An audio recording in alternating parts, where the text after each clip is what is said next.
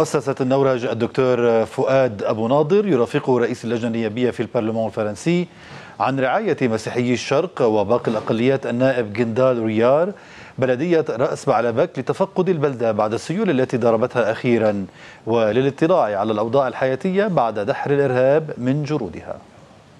معركة التحرير تبع الجرود يلي أنا بعتبر أنه مش بس الجيش لحاله حرر بس كل الأهالي معه حرروا. هالمنطقة هيدي.